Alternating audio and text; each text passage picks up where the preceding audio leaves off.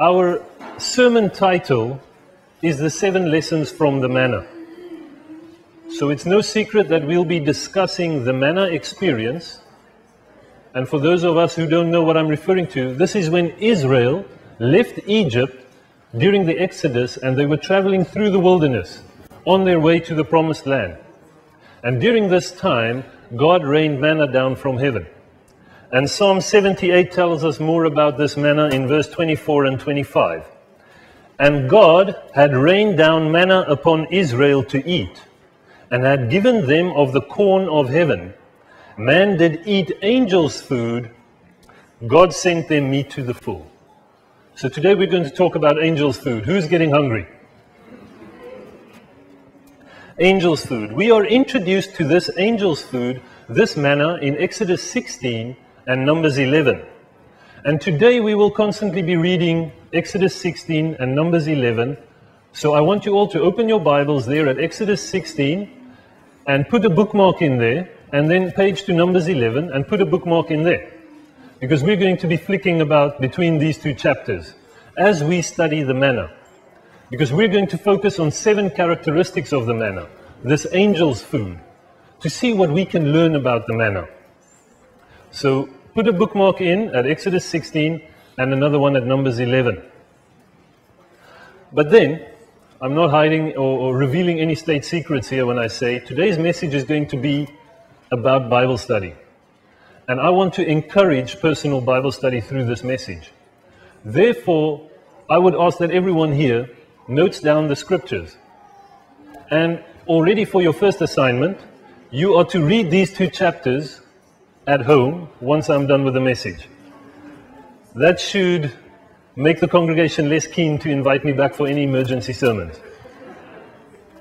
So, when you have Numbers 11 and Exodus 16, then we are ready to start. And please take down notes. Everyone ready? Then we'll start with the first characteristic of the manna, and we find this in Numbers 11, verse 9. So Numbers 11 verse 9 gives us the first characteristic of the manna, and this is that when the dew fell upon the camp in the night, the manna fell upon it. So the first characteristic is that the manna fell during the night or early in the morning. Exodus 16 verse 14 and 21 tells us more. 16 verse 14 and 21 in Exodus. And when the dew that was lay that was lay that lay was gone up, Behold, upon the face of the wilderness there lay a small round thing, as small as the hoarfrost on the ground. And in verse 21, they gathered it every morning, every man according to his eating, and when the sun waxed hot, it melted. So the first characteristic of the manna is that the manna fell early in the morning. Okay? That's our first characteristic. We've seen that the manna falls during, falls during the night. It falls when the, dew, when the dew is falling and as soon as the sun waxes hot, then the manna melts. So are we clear? First characteristic, the manna fell early in the morning. We will then go to Exodus 16, verse 16 and 18 for our second characteristic. The second characteristic is that an Israelite, Israelite could collect as much of the manna as he wanted to, but he would find that he could never collect too much. So reading in Exodus 16, verse 16 to 18. This is the thing which the Lord hath commanded gather of it every man according to his eating, an omer for every man. According to the number of your persons, take ye every man for them which are in his tents. And the children of Israel did so. They gathered, some more, some less, but when they meted with the omer, they found that no one had gathered more. He that had gathered much had nothing over, and that he had gathered little had no lack. They gathered every man according to his eating. So you see, when you get up early in the morning to go and collect the manna, there was no risk of collecting too much. Whatever you gathered, that was exactly what you needed. So the manna was never in excess, always the right amount. That is our second characteristic. We're moving on to the third characteristic of the manna, and that was that it was to be prepared for consumption. We find this in Numbers 11, verse 7 and 8. So Numbers 11, verse 7 and 8, if I may read. And the manna was as coriander seed, and the color thereof as the color of bdellium. And the people went about and gathered it and ground it in mills. They beat it in a mortar. They baked it in pans and made cakes of it. You see, the manna was not a fast food available at your takeaway outlet. No, the manna was not a ready made meal. No, the manna was collected and it had to be prepared for consumption. That is our third characteristic. Now, the fourth characteristic is that the manna could not remain or be preserved overnight. We read this in Exodus 16, verse 19 and 20. So, in Exodus 16, verse 19 and 20, we will see that Moses said, Let no man leave of it till the morning. Notwithstanding, they hearkened not unto Moses, but some of them left of it until the morning, and it bred worms and stank and Moses was very wroth with them. So we see the fourth characteristic is that the manna cannot remain preserved overnight. We're making good progress. There's only seven characteristics. We're halfway. The fifth characteristic was that the manna was not to be collected on the Sabbath. You see, the one night when the manna was preserved overnight was the Sabbath night or Friday night. And here we have a divine miracle already showing the holiness of the Sabbath. And where do we read of this? Already in Exodus 16. So you see, this is before the Ten Commandments that were given in Exodus 20. How often do we as Adventists hear, well, the Sabbath was given to the Israelites with the giving of the commandments? But actually, the Sabbath is already considered holy well before we get to the Sinai experience, here in Exodus 16. Let's read in verses 22 and 23 of Exodus 16. And it came to pass that on the sixth day they gathered twice as much bread, two omers for one man. And all the rulers of the congregation came and told Moses. And he said unto them, This is that which the Lord hath said. Tomorrow is the rest of the holy Sabbath. Unto the Lord, bake that which ye will bake today, seethe that ye will seethe, and that which remaineth overlay up for you to be kept until the morning. So you see, on the Sabbath, the manna was preserved overnight. God gave this divine miracle to now re educate Israel as to the holiness of the Sabbath. Now, if the Sabbath was holy before the Ten Commandments were given in Exodus 20, where does that holiness come from? if the Sabbath was holy before Exodus 20, I'm a novice here. I need you to speak back to me and encourage me along. So, if the Sabbath was holy before Exodus 20, where would that holiness have come from? It can only be the creation event. So, when we read in Genesis 2, where we have the creation account, we read Genesis 2, verse 2 and 3. And on the seventh day, God ended his work which he had made, and he rested on the seventh day from all his work which he had made. And God blessed the seventh day and sanctified it, because that in it he had rested from all his work which God had created and made. You see, the Sabbath is universally holy, and it has been holy since creation. It was not given to Israel when the Ten Commandments were given at Sinai. And here in the manna we have an emphasis that the Sabbath is holy. So, the fifth characteristic is that the manna would only remain preserved overnight on the Sabbath night. The sixth characteristic is the taste of the manna. Who knows what manna tastes like? Speak up. It tastes like sweet. Sweet specifically what? Sweet honey. And in Numbers, we'll read that it tasted like fresh oil. Numbers 11, verse 8 says it tasted like fresh oil. And Exodus 16, verse 31 said it tasted like wafers of fresh, fresh honey. So that's quite a unique combination. I don't personally confuse honey with oil, but since this is food coming not from this earth, I guess it tastes like nothing on earth. So oil mixed with honey. We are then at our last characteristic. The manna sustained Israel throughout the wilderness experience. We read this in Exodus 30, 16, verse 35.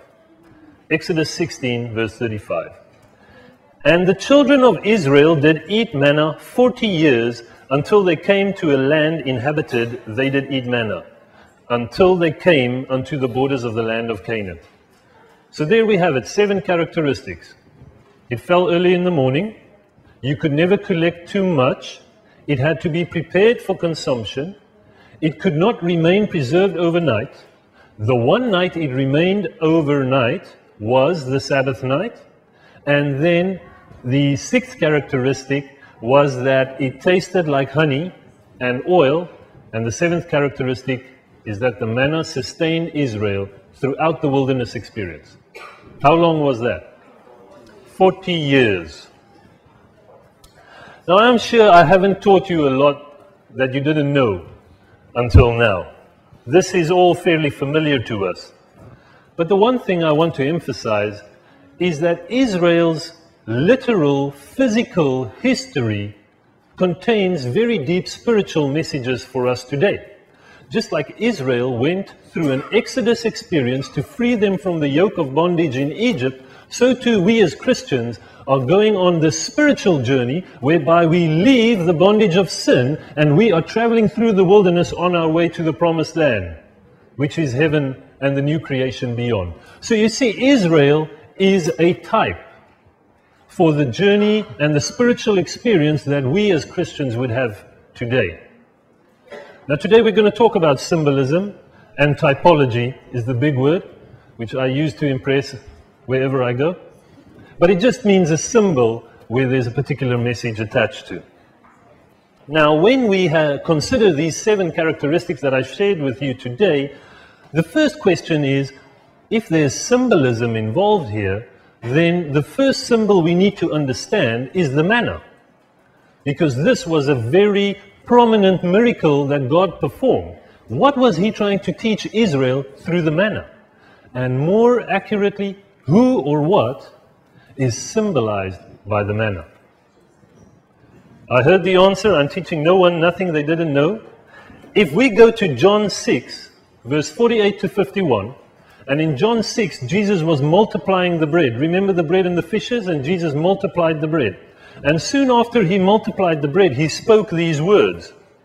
Jesus saying in John 6, verse 48 to 51, I am that bread of life. Your fathers did eat manna in the wilderness and are dead. This is the bread which cometh down from heaven, that a man may eat thereof and not die. I am the living bread which came down from heaven. Jesus Christ is symbolized by the manna. He himself stated so in the Gospel of John. So now that we understand that the manna symbolizes Jesus Christ, now let's look at these seven characteristics again and see what the message is for us today. So, what was the first characteristic? The manna fell early in the morning. An Israelite had to get up early in the morning to go and collect the manna. Now, if Jesus is the manna, how would we go and collect Jesus?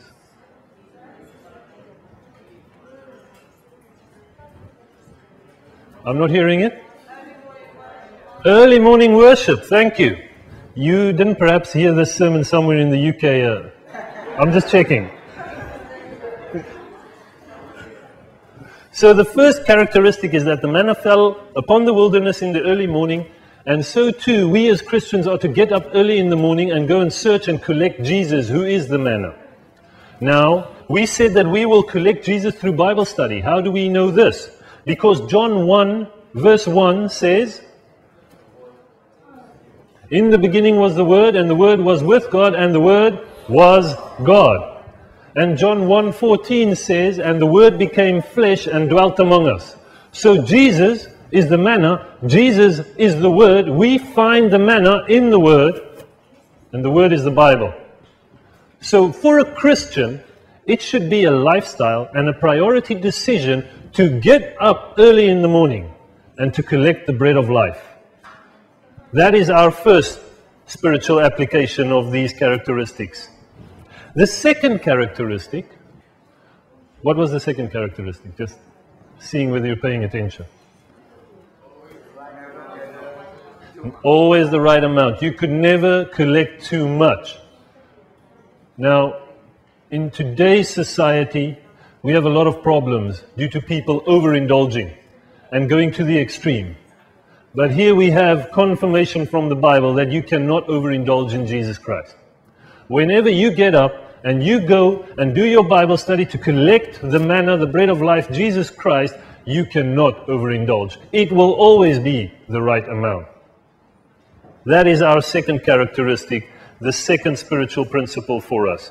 The third characteristic is that it had to be prepared. Now, reading the Bible is good nutrition, it's sustenance. But you see, we need to move beyond just the reading and we need to start meditating upon the Word. We need to take what we have collected, we need to prepare it such that we take Scripture and turn it into a message. Because a message we can share. In the same way as you can make a meal from the manna and share it. And this is where Bible study really starts paying off. And this sermon here is testimony of this principle.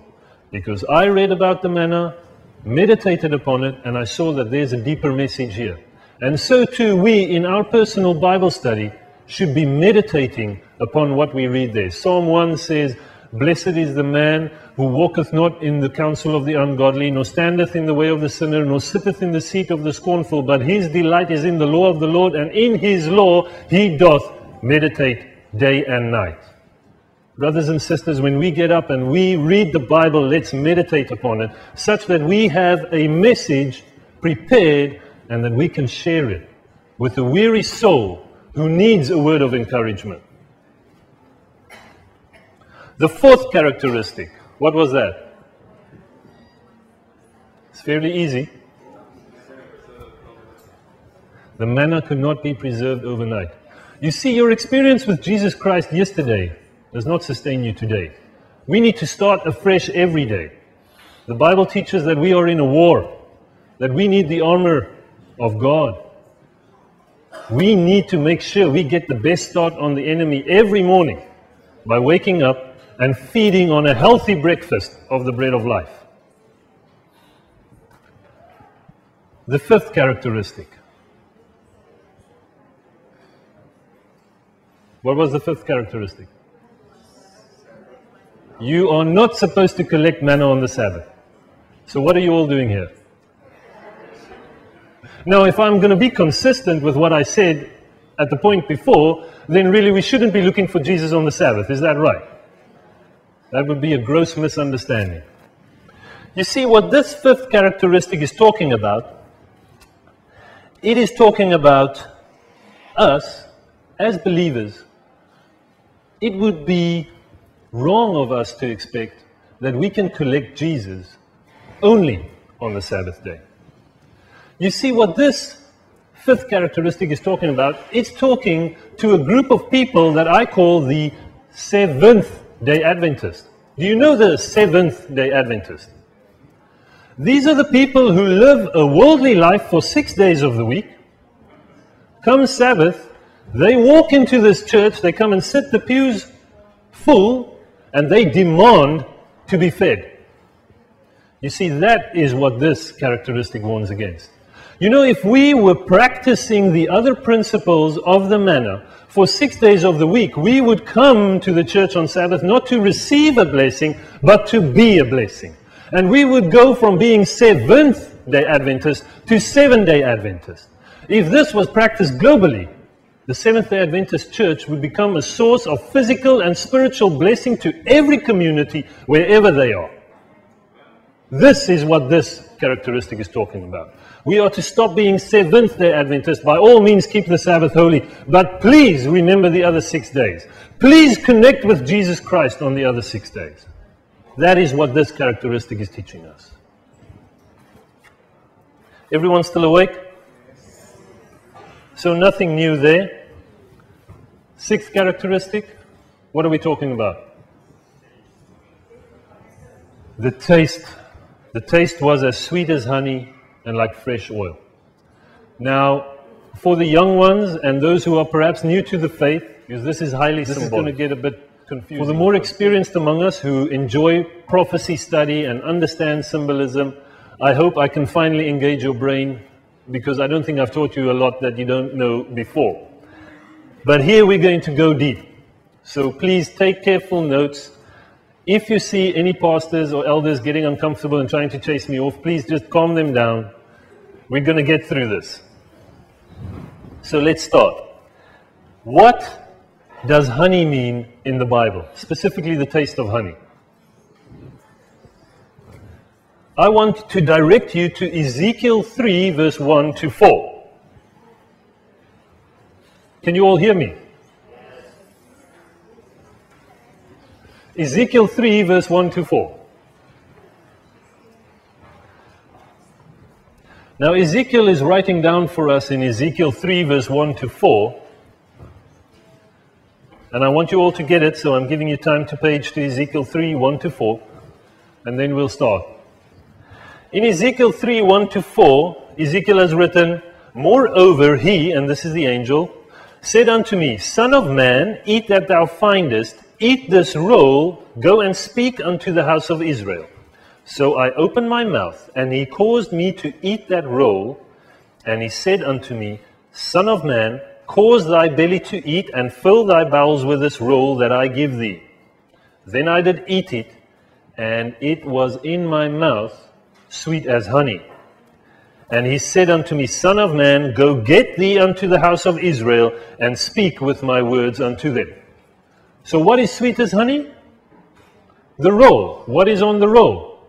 It's the words of God. It's a message from God for His people. So, if we read in the Bible of honey, then potentially it could be communicating that this is a sweet message from God. Now, the sweet message of the manna, we need to understand this a bit more. So, I asked myself, because I get it, it's a sweet message. It's a message from God for his people. But what is the message? That is what I want to know. So I ask myself, are there any other occurrences of honey in the Bible? Very significant occurrences of honey in the Bible. Does anyone know? Put up a hand. No, no hands, then I can't hear. Samson. Now let's go and revisit the story of Samson and the lion and let's see what honey teaches us there in the story of Samson and the lion. We find the story in Judges 14, verse 5 to 9. Let's page there. And uh, I really do need you to page there so you can check my wording. We're going to have to do a bit of unpacking here. Judges 14, verse 5 to 9. I'll start reading Judges 14, verse 5 to 9. Then Samson went down, and his father and his mother, to Timnath. So Samson, being a young man, has noticed a heathen woman that he finds attractive. And he's invited his parents to accompany him down to Timnath to go and meet the future in laws. And that must have been great. So father and mother are walking up ahead. They're not talking to their son anymore because he wants to go and marry a heathen woman. And Samson is walking along. And he's on his way to Timnath. And behold, a young lion roared against him. And the Spirit of the Lord came mightily upon him. And he rent him as he would have rent a kid. And he had nothing in his hands. And he told not his mother or his father what he had done. He went down, he talked with the woman, she pleased Samson well. After a time, he returned to take her, and he turned aside to see the carcass of the lion. Behold, there was a swarm of bees and honey in the carcass of the lion. And he took thereof in his hands, and went on eating, and came to his father and mother, and gave them, and they did eat, but he told them not that he had taken honey out of the carcass of the lion. Now, again, this is kind of random. Samson walks around, he kills a lion.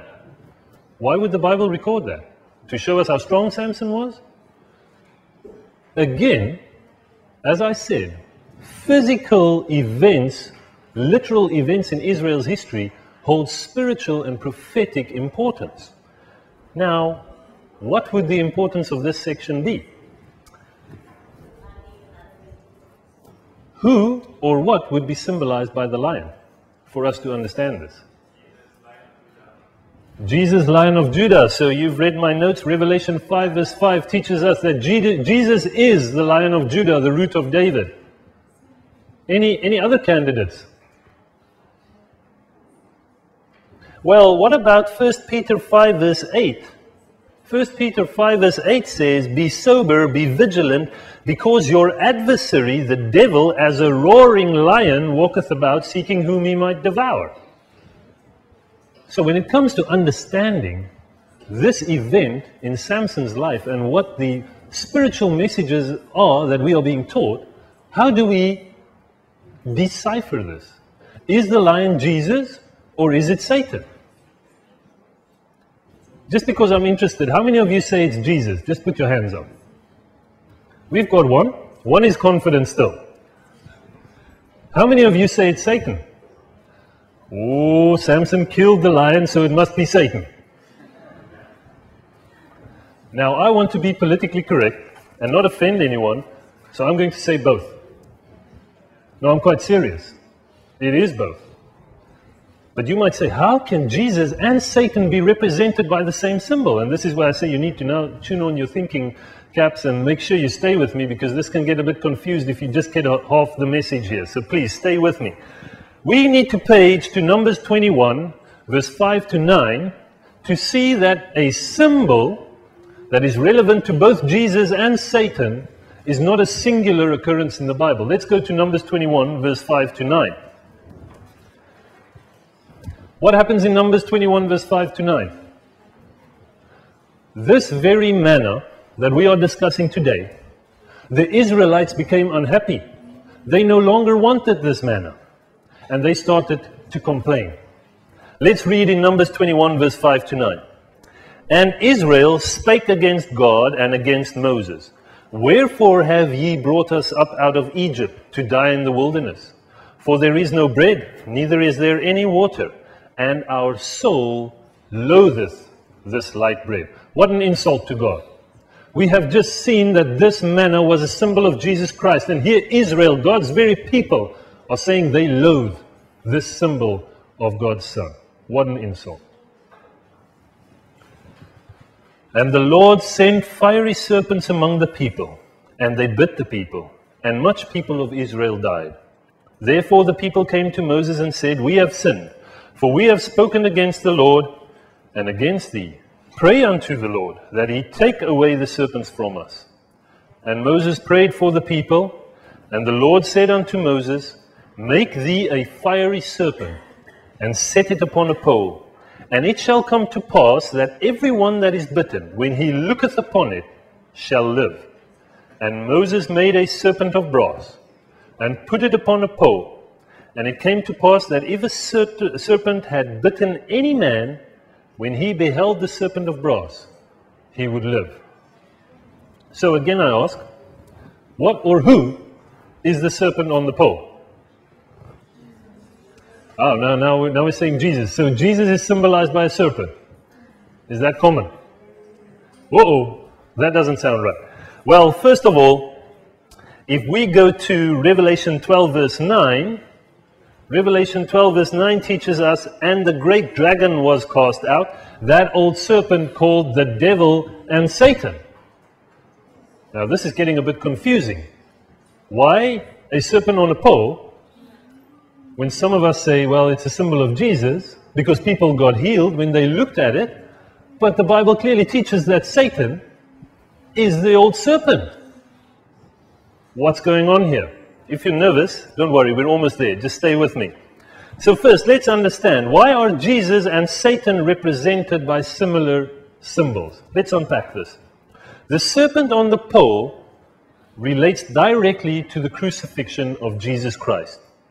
Those were the words of Christ himself in John 3 14 and 15. So, right before that very famous text, John 3 16, we find that Jesus Christ himself says, he associates with that serpent on the pole. Let's read.